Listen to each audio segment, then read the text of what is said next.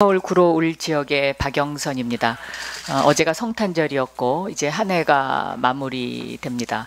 어, 올한 해 우리 국민들은 너무나 큰 상처를 받았습니다. 아, 대통령으로부터 상처를 받고 어, 최순실이라는 사람으로부터 모욕을 당했다고 생각합니다.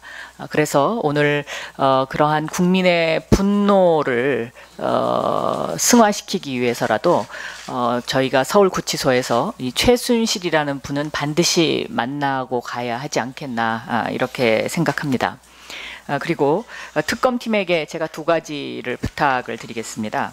하나는 그 우병우 증인이 에, 최순실을 모른다고 했는데 에, 우병우 증인이 나타난 이후에 증인으로 출석한 이후에 이 우병우 증인의 장인 이상달 씨가 최태민 씨와 굉장히 가까운 사이였다라는 그런 보도가 나오고 있고 이 최태 에, 최태민 씨 그 우병우 어, 증인의 장모 김장자 여사가 아, 당시에 그 이상달 장인과 최태민 목사가 가까운 사이였기 때문에 새마음 구국 봉사단원이었다. 아, 거기에 최순실이 관여되어 있는 그 구국 봉사단이었다는 그러한 제보가 지금 계속 들어오고 있습니다. 그래서 위원장님께서 이것을 특검팀에 얘기해서 어, 이거 좀 사실관계 확인이 좀 필요하지 않나 아, 그렇게 생각합니다.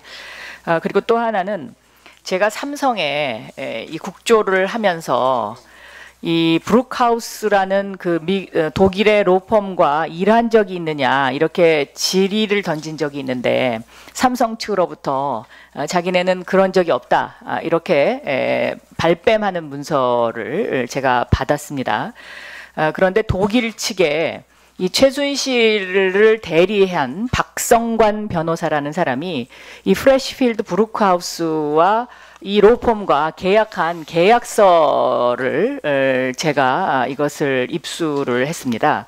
아, 그런데 여기 계약서 뒷장에 보면 어, 최서원, 그러니까 최순실의 개명한 최서원이라는 이름으로 어, 이 계약한 이 계약서가 등장을 하는데 지금 특검에서 이 독일에 주재하고 있는 박성관이라는 변호사를 어, 수사를 하게 되면 이 박성관과 최순실 그리고 삼성 간의 그 삼각관계의 고리를 다 풀 수 있을 것 같습니다. 그러니까 이 사람이 중간에서 이 프레시필드 바카우스라는 로펌을 통해서 지금 다 모든 것을 계약을 했습니다. 그래서 이것을 특검에 요청합니다. 네.